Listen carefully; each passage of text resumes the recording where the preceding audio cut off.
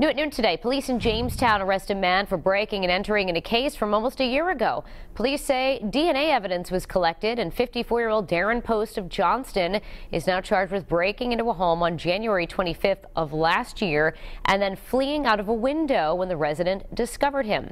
Post is being held on a $50,000 bond. Police say his criminal history dates back to 1981.